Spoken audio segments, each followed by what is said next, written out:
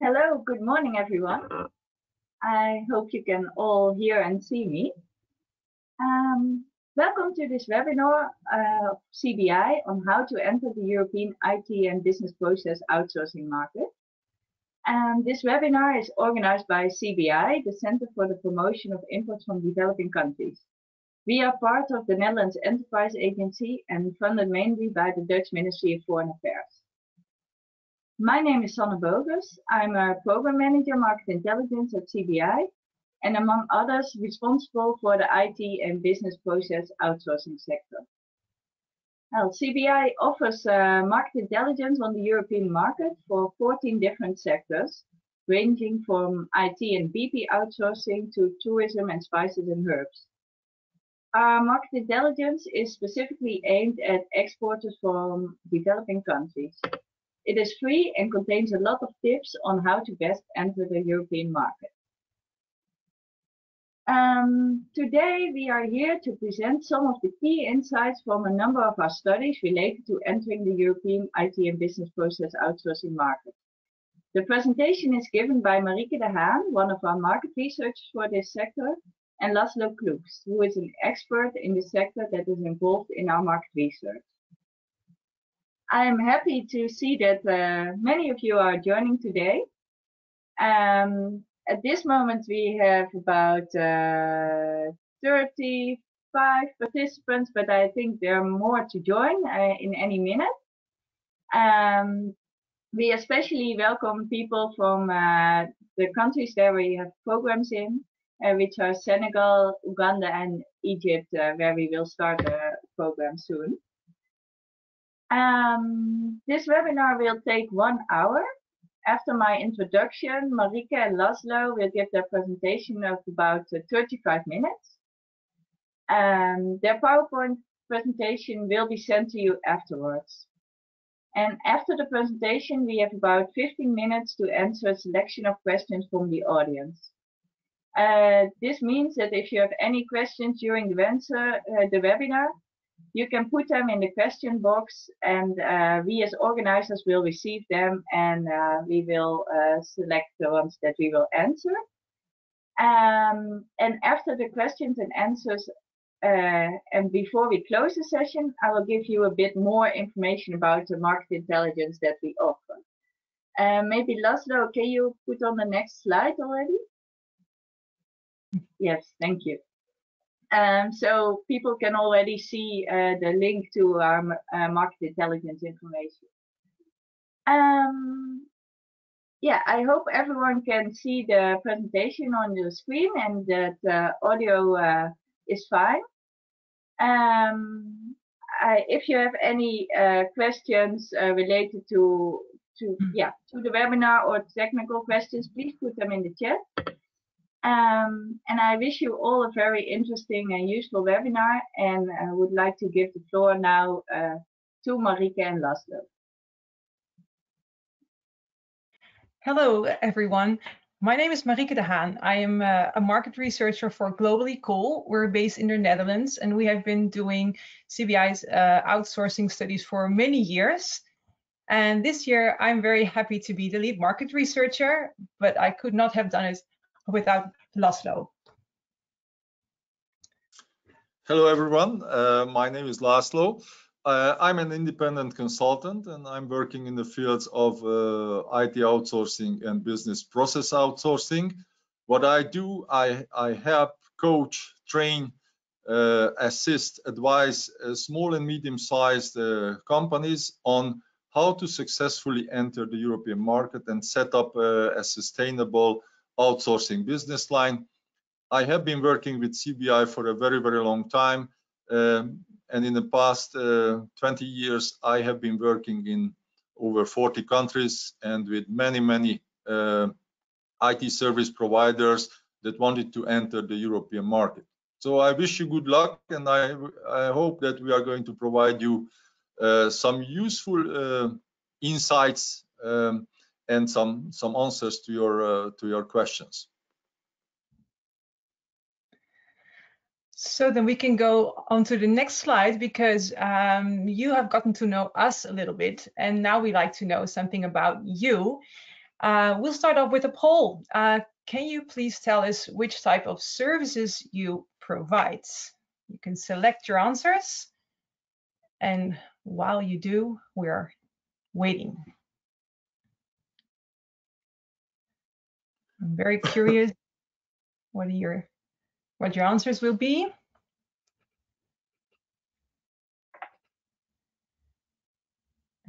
And we're going to wait until we have about 70% of the people voted, and then everybody can see the answer.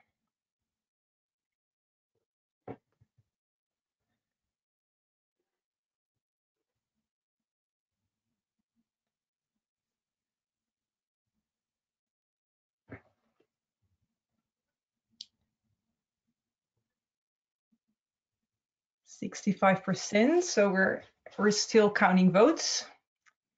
Does that sound familiar to anyone?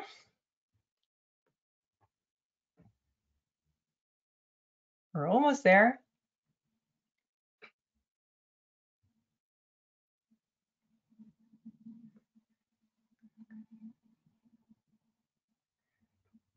There we go. Um, can everybody, yeah, there are the answers. Okay, so we have a lot of software development companies. Actually, we have a little bit of everything, a lot of others, uh, other ITO, other BPO. Well, welcome everyone. Um, we will have very interesting things for you today, for all of you, uh, regardless of which uh, sector you're from. Um, we will be covering six topics. We can go on to the next slide and you can see what we're going to cover today. The next slide will show, yeah, great. Those are the six topics that we will be talking about today. Um, um, you can see uh, in the uh, upper left corner where we are uh, in the presentation. So if we can go to the next slide again, you can see the example. This is, for example, topic one of six, and um, is the elephant in the room because we're here to talk about your work, but there is a big thing in the world going on right now, and it's COVID-19. Um, everyone knows that it disrupted business on a global scale, but the effects within the outsourcing industry vary greatly. During the last webinar, we had a poll that gave us the following results that you can see on your screen. There are quite a few people who reported a negative effect of COVID-19 on their business. Um, this was mostly because um, they were unable to execute their work because uh, in their countries you had probably stay-at-home orders and it was difficult for you to work. Um, it could also be um, that um, that you were uh, had a lot of work to do, but you were um, you were in a sector uh, that was hit very hard, like tourism or the event industry. We can also see that about 10% of the participants uh, gave a, a positive uh, uh, noted a positive um, effects of COVID on their uh, sector, and that was mostly among companies that were able to continue their business and we're working in sectors that needed more solutions that could be outsourced, for example, healthcare or logistics. At this moment, we are almost half a year further along, and we would like to know where you guys are at today. So let us know how does it uh, has it affected your business so far? We have another poll for you. Please uh, take me to the next slide. Yeah.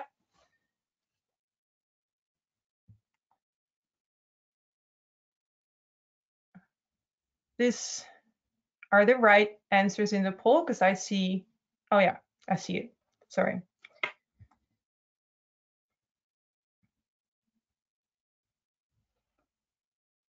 Cool. Again, we will wait until 70% of the people voted. I can already see some results.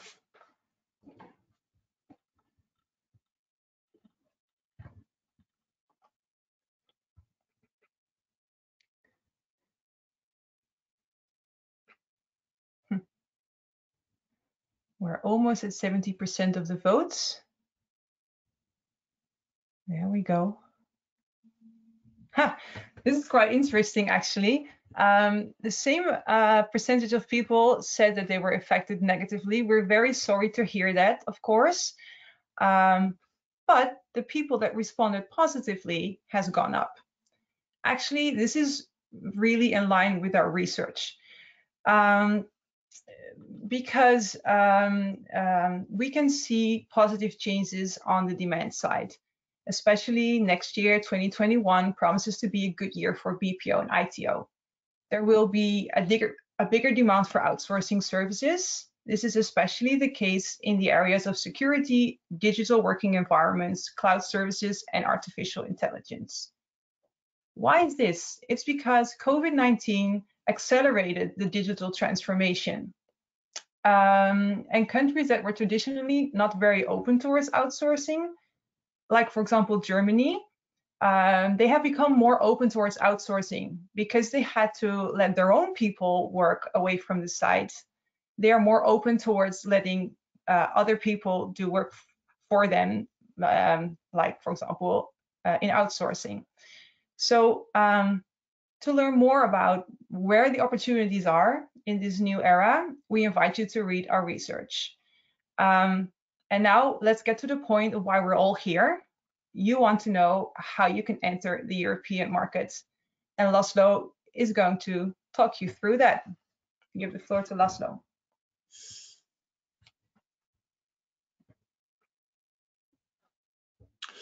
All right. So um, before you uh, try to enter the European market, you definitely need to do a few things. Um, and if I want to tell you a little bit more about it, uh, then uh, we can divide those activities into uh, into basically two distinctive um, phases.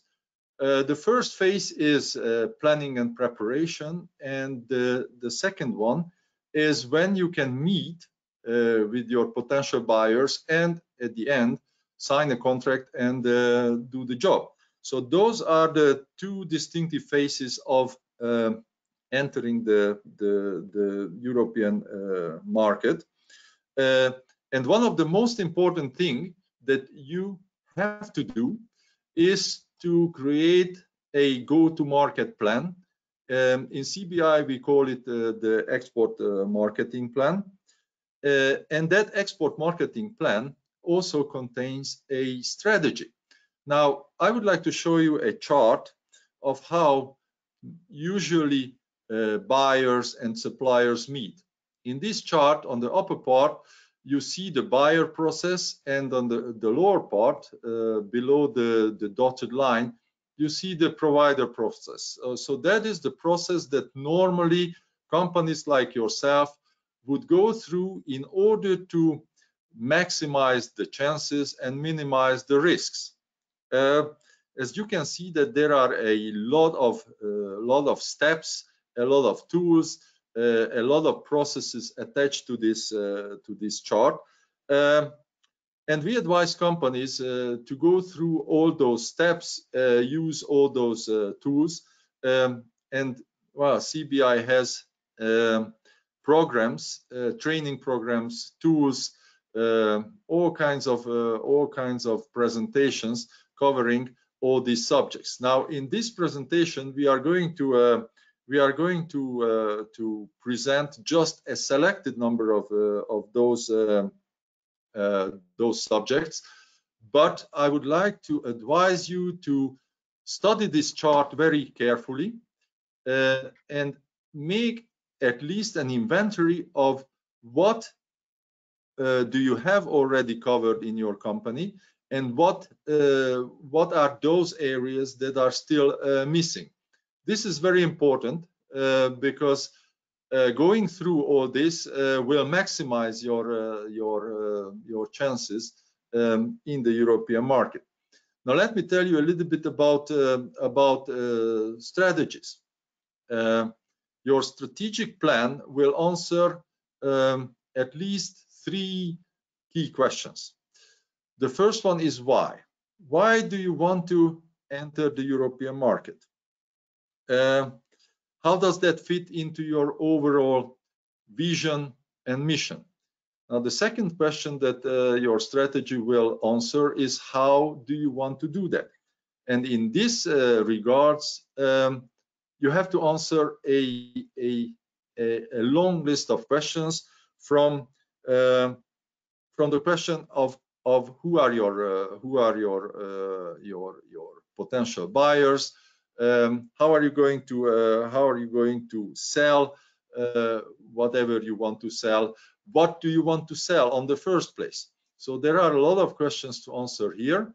And the third question that your strategy is going to answer is what actions are you going to take? And that is uh, actually your your action plan and what we normally say is that when you when you go through your actions uh, at the end of the day at the end of the process at the end of the time frame uh, all your objectives uh, should be met. So that is uh, those are the three questions that your strategy should answer. Uh, what is a strategy? Uh, I would like to tell you a little bit about it because uh, very often we talk about it, but we don't kind uh, of of define it uh, exactly what it is. So a strategy is a roadmap from A to B. In order to uh, in order to be uh, to to have it measurable, we have to uh, we have to create benchmarks of where we are. So we need to create a situation analysis.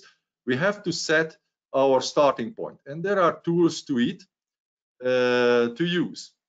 Uh, and we also need to, uh, to set up our endpoint. That is our export objectives. And of course, there is a, a time frame to it. And along the way, uh, there are roadblocks and all kinds of uh, all kinds of milestones to take into consideration. Now, when you uh, when you uh, work on all those questions and work out all the possible roadblocks at the end you will have a roadmap of how you are going to get from A to B and that is going to be uh, your uh, strategy uh, so far that is the only thing I, I can uh, I can tell you because of the time limitation but hmm. there is one one important thing uh, that in the CBI program and in CBI itself, there are plenty of tools uh, mm. and training programs on how to create this go-to-market strategy, which we call the export marketing plan. Uh, and now I think Marieke would like to talk about uh, requirements. Yeah. Well, I will talk about Well, um, so let's just say that you've done everything that that that Laszlo just just told you. You did a great job. Then, um, then we're ready for the next step. And you can see the slide. It looks pretty boring, and and maybe it is because the letters are so small that you probably can't can't even read this slide. But that's okay, um, um, because everything that you need to know is in our research but we want to put it in here because this is about requirements. What requirements do you need to enter the European market successfully? And it really depends on, on the product you have uh, and the country you are, are targeting and also the sector that your product or service is for. So um, our research explains elaborately each requirement, if you need it, and how to qualify. But before you decide to certify yourself, um, you have to ask yourself three questions. Questions number one is, is it good for my company? Question number two, is it good for my clients? And question number three, does it have marketing value? So we can go to the next slide because um, we have now looked looked inwards um, we've talked with Laszlo about your company and your strategy. You've talked with me briefly about the requirements that you need. So now you're ready to go out there.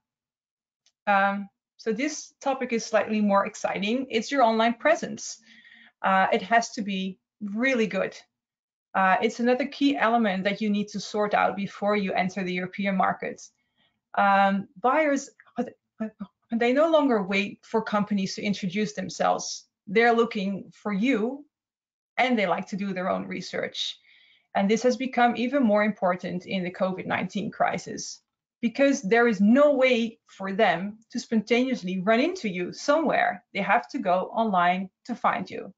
So your website is your most important and valuable marketing asset. Let's read with me. It's on the slide. Your website should be developed by a professional, well-maintained, up-to-date, search engine optimized, customer focused. It should be responsive, it should contain high quality, easily accessible information. You should include references, testimonials, and clear calls to action. Um, of course, all of this and more you can find in our research, but let me show you an example of a good website. It's in the next slide. This website is uh, by Volo. It's an Armenian software development company. They are based in Ukraine. Um, you can see that they provide clear and easily accessible information. They have clear calls to action. They provide case studies and they have an up-to-date blog. If you have some time, we really recommend you to check out their website. But don't do it now because Laszlo is going to talk about intermediaries.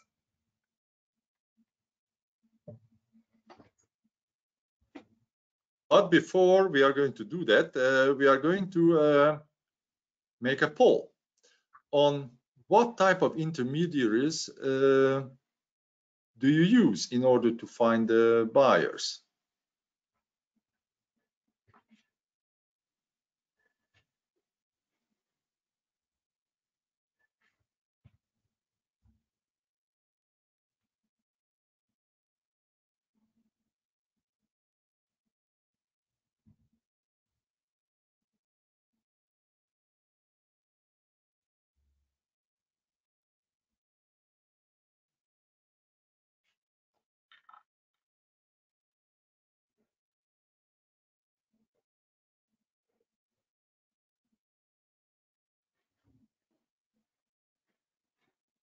All right, I think 73% uh, of you already uh, voted, and it turns out that uh, a majority of you have never worked with uh, intermediaries. 28% uh, of you have already did before uh, COVID-19, and, and, only 5%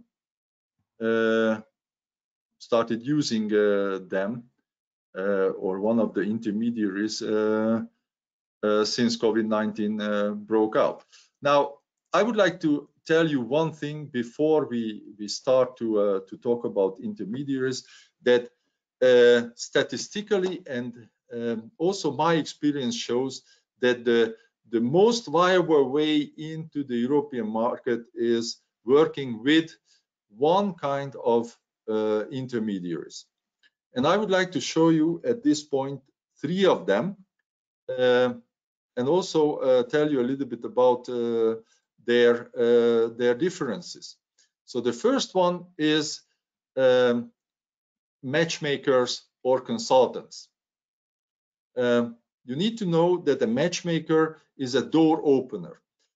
It can be a person, uh, it can also be a company, but the most important thing is that a matchmaker has already a, a large, um, already established uh, list of potential clients. So a matchmaker is not a person, let's talk about a person, is not a person who is going to make uh, cold calls, all right? But a matchmaker is a person or a company with a large number of uh, actual and live contacts so they don't have to look after uh, or run after uh, them.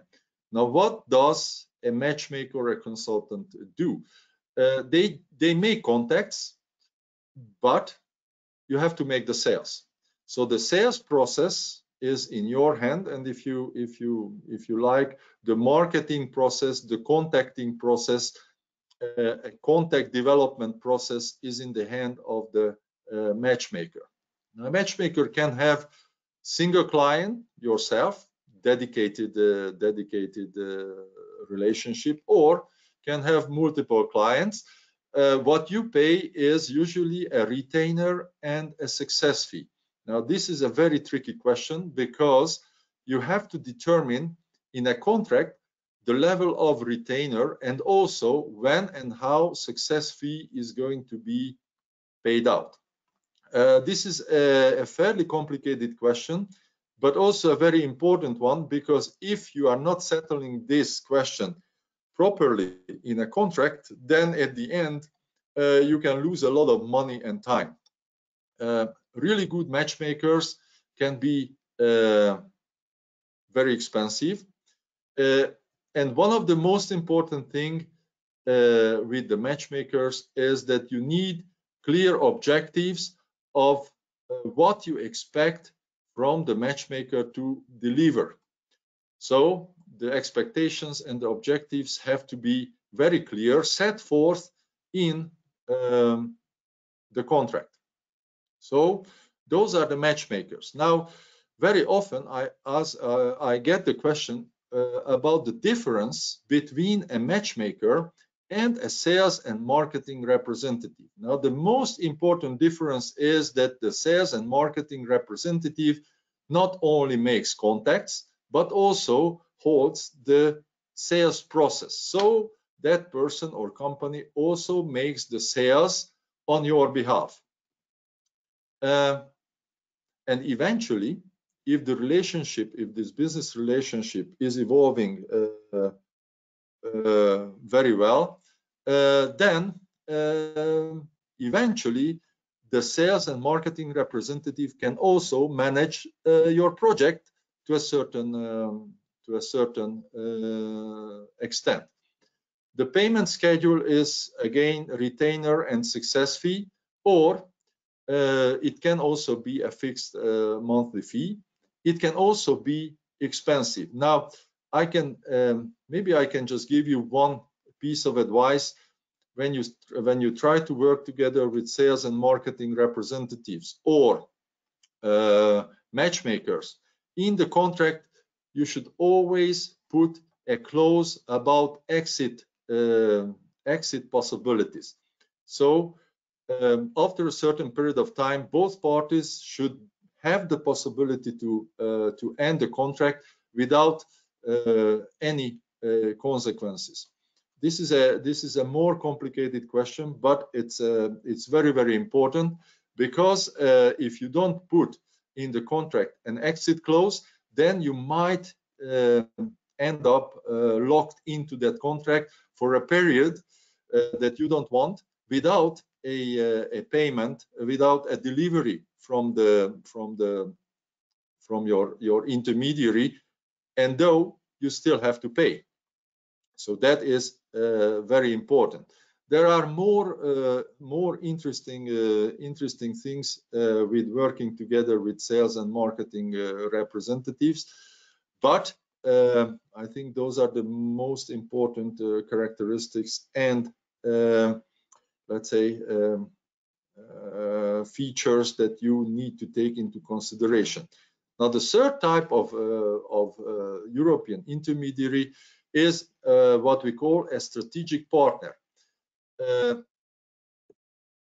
when we are talking about small and medium-sized companies, very often that strategic partner is a software company or an outsourcing or a BPO company like yourself.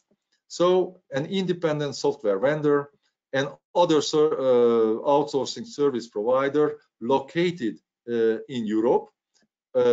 Nowadays, uh, they can be onshore, nearshore, or even offshore.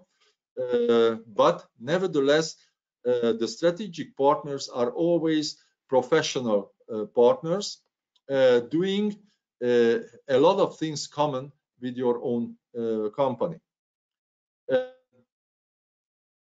if you know very well, and that's why it's important to talk about strategies and go to market planning, if you know exactly what you what you want to sell or what you can sell, it's it's relatively easy to find or identify those uh, professional uh, partners but it's very difficult usually to establish a business relationship and convince them to start to work together with you.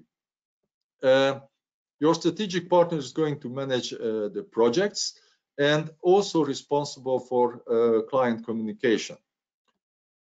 you also need to know that the work, the workload that you get is very often based on a when and if necessary basis.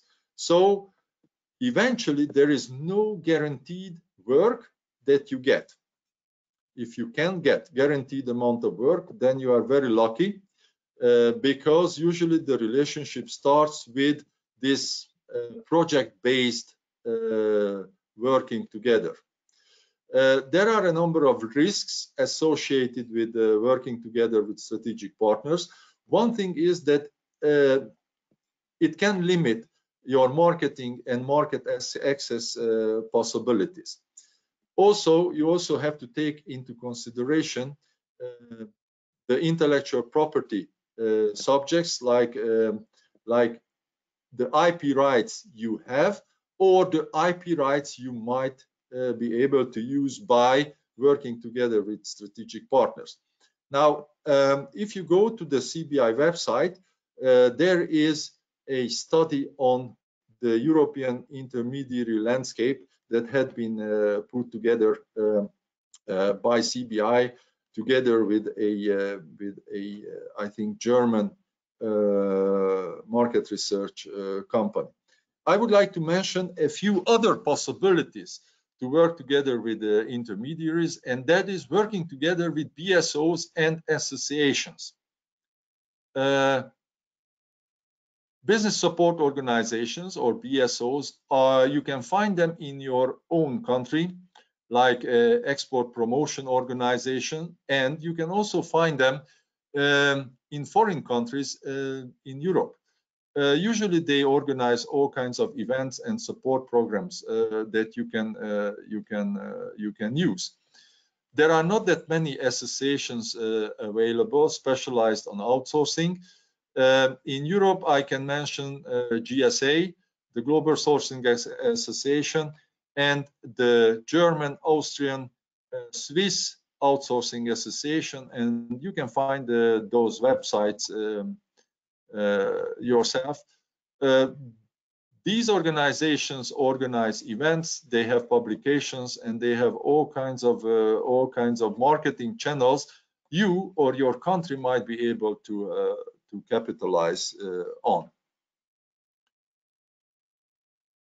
uh, and with that we largely finished what we wanted to tell you but i would like to to summarize and uh, highlight a few things.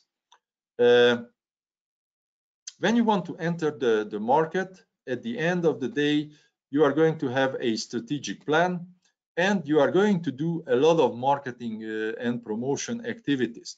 But at the end of the day, the goal is that you can set up a sustainable outsourcing business line working together with European partners. Now, the whole process starts with making as many business contacts uh, as possible. One of the most important uh, error that companies uh, make that they don't make enough European contacts.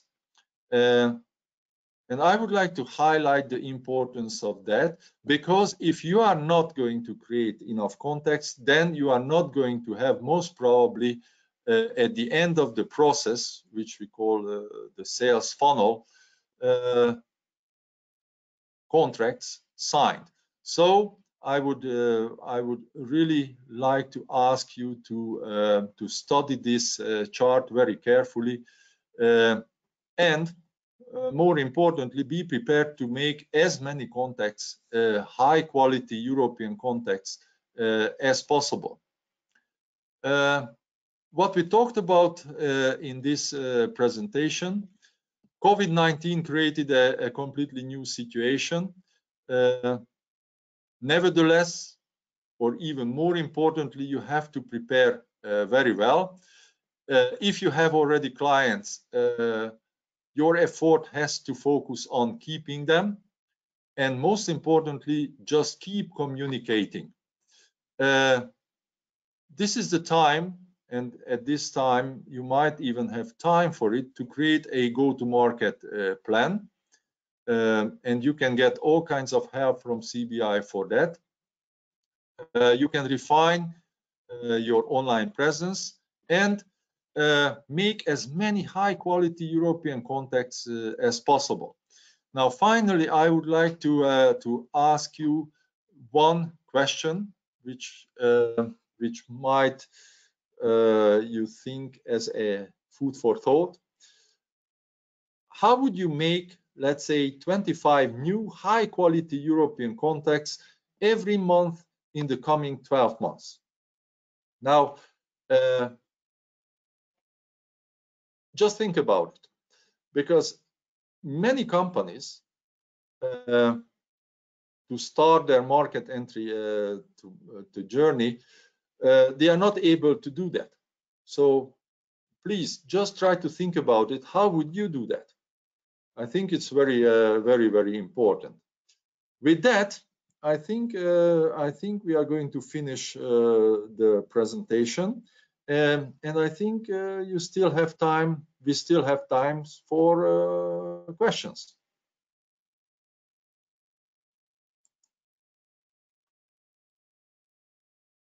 Yes, thank you very much, Laszlo and Marieke, um, for your presentation. As mentioned before, uh, we will send the presentation to the to the attendees after this webinar and also uh, link to the recording of this uh, webinar.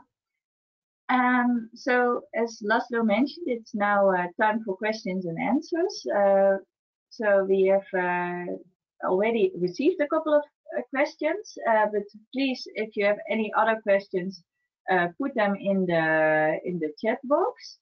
Um, I can um, I can name a couple of questions. one of the questions was about uh, slide four. I think that you presented it, uh, Marieke. And um, there was something unclear about uh, what is meant with uh, clear calls to action um, that one has to provide in their online uh, uh, presentation in the website. Can you elaborate on that? Yeah, definitely. Well, thank you for your questions. It's a very good one. a call to action uh, is a part of a web page it could also be on a, an advertisement or a piece of content that encourages the audience to do something. So if you have a website, it um, the people who visit your website can just read it, but um, you can also include call to action buttons. You probably saw them like uh, click here, um, free trial, learn more, ask us anything like those like short uh, sentences they are calling you to take action and that's why they're called call to action. You can find online a lot of information about how to uh, how to integrate them into your current website. Um, the internet gives you advice on for example which colors work best what kind of phrases to use. So i'm sure with this information uh, you can find something that will work for your company Mm -hmm. Thank you, Marieke. And then uh, going on uh, on this topic more or less, um, the same person would like to know uh, what are other mechanisms on as uh, for online presence than uh, websites? Are there any other um, mechanisms? And uh, one other question is, for example, about a good portal to list your company on. Yeah, those are also really good questions. Um, we um, mentioned uh, quite a lot of them in our research. Um, let me think of the ones that we use. Uh, of course, when it comes to online presence, you can use LinkedIn. Um, I'm pretty sure that most of you will be familiar with that. There, it's, it's really good for uh, meeting other people professionally. Um, there's also something about online events that you can participate in, um, which uh, can also uh, lead to more contacts. Like Laszlo said, it's really important to get a lot of contacts before you can get a contract. Um, yeah, those are on top of my head right now, but there there there is more in our in our research. Yes, and that research is available at uh, cbi.eu slash market information, but I will tell a little bit more at, uh, after the question and answer session. And Laszlo, do you want to add anything or? Yeah, well, um, on the web, most of the most of those platforms that uh, that offer work, uh, those are usually very small contracts uh, for freelancers like Upwork and uh, and such. So getting directly work uh, from the web um, is, is, mostly for uh, for very small uh, projects, uh, freelancers, individuals. Um, but I think one of the most important channel in order to make contacts is LinkedIn at this uh, at this very moment. I think one of, that is one of the most uh, important channel um, to use um, to use nowadays. Mm -hmm. Yeah. Okay. Thank you very much. I'm looking through the questions that came in.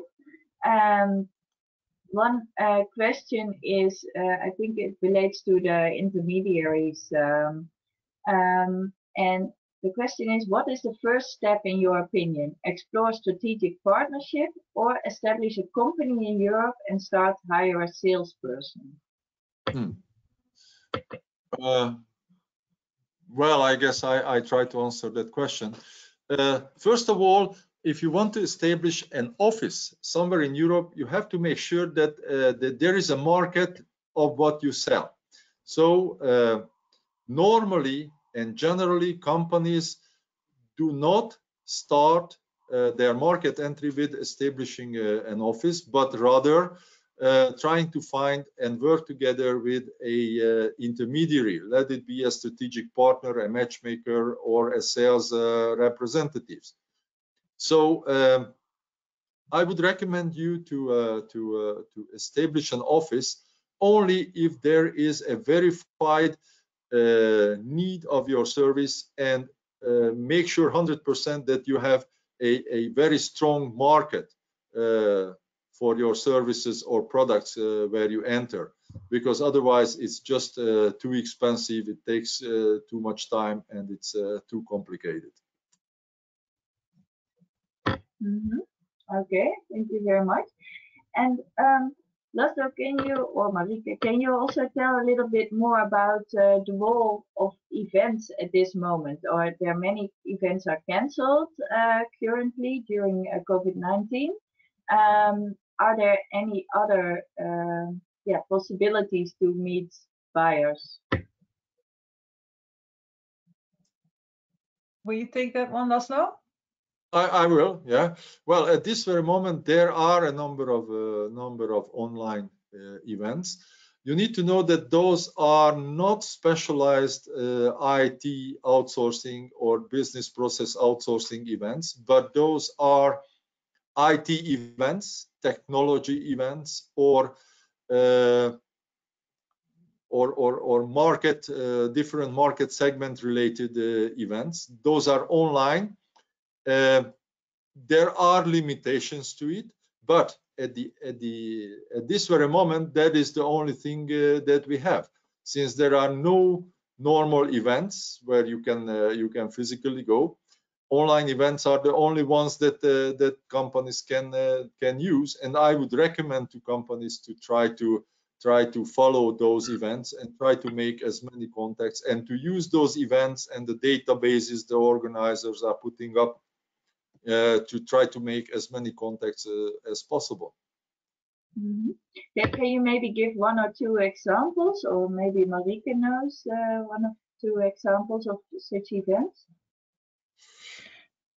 Yeah, well, I have been to an event. I must admit I forgot the name because it's been already a month since I attended. But it, um, uh, most events uh, are quite uh, specific uh, about um, uh, um, so and they're not really about outsourcing in in general so you have to find an e event that matches the service or the product that you that you provide Um, but it, the, the, the people that organized the events were actually quite um, inventive in uh, ways um, to engage you with the other people attending.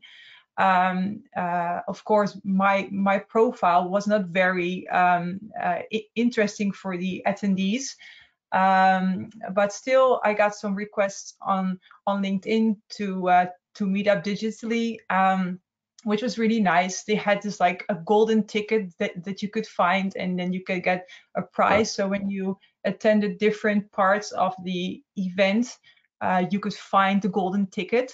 So um, those initiatives made it a little bit more engaging, which mm -hmm. I, I, thought was nice. And what what do you mean with specific? So maybe for especially on um, uh, financial or soft software development or on um, uh, I don't know big data or so. Yeah, yeah, like that. Uh, the one I attended was about artificial intelligence. Um, so yeah, those those events, uh, yeah, they're specific like that. Mm -hmm. Okay. Yeah. Yeah. If, if, I am not mistaken, Web Summit is just uh, coming up. The online version of Web Summit is uh, is coming up, so that is going to be the next one. And uh, I I um, I trust that there are various uh, various uh, industry events uh, coming up in the in the coming month online. Mm -hmm. Okay. Um, then one question came in uh, after the discussion about uh, LinkedIn and finding contacts there. Um, and um, the question or remark was, um, let me see, that many companies find it, um, yeah, they find that when they contact potential buyers via LinkedIn, there's no response. And could you be a bit more specific on what to do on LinkedIn, how to get a response and to get really into contact with the buyer? Hmm. Well, uh, well, that is not that is I would say pretty normal because this is a this is a kind of uh, cold approach. Now, cold approach had never been the most effective way of of trying to uh, trying to make contacts. Uh, but what I would recommend to companies is before kind of start to bombard companies with offers and all that, try to use a kind of soft approach. Try to put up useful information. Try to uh, try to make sure that the companies, the potential buyers, are really interested in of what you put up on uh, LinkedIn. There's another thing that maybe it's a good idea to join different LinkedIn groups uh, of uh, similar interest than yours. And well, not yeah, not don't don't start to post things up front, but try to listen and try to join the conversation. Prove that you are there not only because of business interest, but because genuine interest of what that topic is uh, all about. And slowly but surely, uh, then you can work your way into that uh, to that uh, to that topic, that discussion, and well, after a certain amount of time, you might be able to establish some kind of a relationship with at least a few people. And and with those people you can start to talk about uh, business. So don't don't get into that uh, into that group or into that discussion with your with your unresistible offer because that's not going to work since it's a it's it's a it's a fairly cold approach uh, you have to work on it and then and then you have to invest time and energy to build some kind of business relationship and trust and to prove that you are there because of the common interest. Mm -hmm. Would uh, recommendations also work? Um, in LinkedIn, you can also get recommendations from other maybe clients that you have. Well, recommendations and uh, and uh, and references always work, but but you have to get to that point to be able to show those uh, references and recommendations and all those uh, things. So uh, as everywhere in IT the most important thing I mean regardless of the channel that you have to build trust. Uh, now European potential European buyers um, are very cautious. Um, and and before they get into a discussion they have they they, they always want to make sure that that it's their interest and you are there uh, also uh, to build the mutual interest and mutual trust and that takes time and energy and all those kind of things mm -hmm. thank you um, so we have uh, time for a uh, few more questions. Um, sorry, one one more thing that came in uh, just now regarding LinkedIn. Um, well, how do you think about the paid LinkedIn account? Would that work better than a free LinkedIn account? Yeah, I, I think so. Uh, because uh, because it also provides uh, far more uh, far more information about who is looking at your profile and all those kind of things. So I think I think a paid account you get far more information on on on contacting people. So I think a paid paid account eventually can be interesting. Mm -hmm. Yeah, yeah. Um, and there's also a question about um, uh, how to uh, find good matchmakers or business development partners. Is that also on LinkedIn or are there other uh, ways to find them? Well, I think that is uh, that is the question we have been uh, struggling in the past uh, at least 15 years. and the thing is that there is no silver bullet answer to that it's more or less trial and error uh, of of trying to find uh, find uh, those those matchmakers or sales representatives. Now, maybe I can I can give you one possibility that you you can find is try to look for um, let's say HR agencies in the European Union in that country where you want to work uh, and those HR agencies, uh, outplacement bureaus and uh, and and such, might be able to provide you with names of people who would be suitable for your needs. Of course, you need to uh, you need to define what kind of people are you looking for. What kind of uh, what kind of uh, what kind of experiences are you looking for in people? Now, in those outplacement uh, agencies, headhunters, uh, management uh, consultancies, they might be able to help you to find the right people who are who are willing to to put up their their existing network and introduce you to that network. Okay, thank you very much. Um, we have nearly come uh, at the end of this webinar. Um, if there's one uh, last uh, question, you are able to pose it now. Um, I see there's, yeah, there have been some remarks about uh, events also. For example, uh, we were talking about um, some. One of you were, was talking about Web Summit.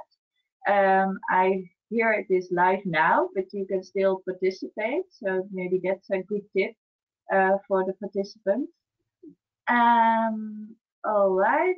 Um, then I, I see there were also some remarks or questions about uh, the intermediaries. Um, um, let me go uh, to the to the next slide. We can round off this webinar and I can tell you where to find more information about uh, intermediaries and all the other things that we discussed. So um, first of all, I want to thank Marieke and Laszlo. Um, and um, yeah, to uh, what what the, yeah, this is a short webinar, and uh, so maybe not everything has be, come uh, up uh, during the webinar, but we offer a lot of um, uh, free market research information for different sectors, including the IT and BPO sector. And uh, I think in the next slide, oh, um, ah, okay. Um, I'm sorry, I see that uh, there's the uh, other presentation that is, uh, um, I will try to, to share my screen then now because I see the, um, uh, let me see. The the presentation is a is an old version that uh, that Laszlo put up. Um, one second, please, um, so that you can see more about our market intelligence. Um,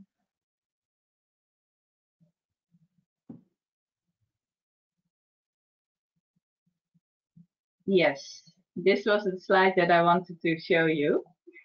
Um, so as mentioned, uh, CBI has a lot of uh, market information also for this sector. Uh, we have, for example, information about the demand on this uh, in this sector, uh, also um, different uh, segments. Um, we have information about the latest trends, what requirements one needs to fulfill, and um, also specific information which is on the other sector information on um, yeah how to respond to COVID-19, for example. We also had a webinar uh, on that uh, earlier on. Um, and also the research that was uh, mentioned a couple of times about the European intermediary landscape for ITO and uh, BPO uh, services. Um, we also do have a lot of information for specific services, such as uh, uh, services in big data or blockchain or about um, uh, software development or the integrated Internet of Things. Um, and we do have uh, tips how to find buyers, how to find how to do business, and how to organize your exports uh, more practically. So I think that um, yeah, there's a lot of information there, and uh, I hope also that you can, if you have any other questions, uh, that you can find your information uh, there. And it also includes a lot of links uh, to websites where other sources that you can find more information on. Um, Marieke, do you want to add anything on that? Or? Uh, no, no. The, okay, oh, okay, good. pretty nicely. okay, good. So, and uh, the information um, contains a lot of tips, uh, also how to practically uh, this, uh, use this uh, information. Um, okay, and um, well, I, I want to uh, tell you one more thing. I will uh, stop sharing my screen again, and now Laszlo can uh, share his screen again. Sorry for this. yes. Um, so um, yeah, in order to stay up to date about our latest publications, you can uh, sign up for a monthly newsletter, a market intelligence newsletter. And our market intelligence is available for everyone and it's uh, free on our platform. Um, so, but CBI also has a couple of support programs in specific countries. And uh, we are, for example, about to start a new program in Egypt um, next year. And for that, we are currently searching for an IT outsourcing expert for the European market. So this is a request. Uh, are you or do you know someone uh, who is an expert on that? Uh, please check our website, uh, cbi.eu, uh, in order to uh, get more information about this assignment. Um, yeah, and um, I think this is the end of the, the webinar. I would like you to thank you, the audience, for attending. Uh, please let us know if you found this uh, webinar useful and if you have any feedback to us by filling in the survey that is coming up uh, once we stop the webinar. And uh, on behalf of CBI, I want to wish you and your businesses all the very best. And thank you once again uh, for attending and uh, bye bye. Bye Marieke, bye Laszlo. Thank bye you, -bye. Sanne. Thank you, Laszlo. Bye bye. Take care.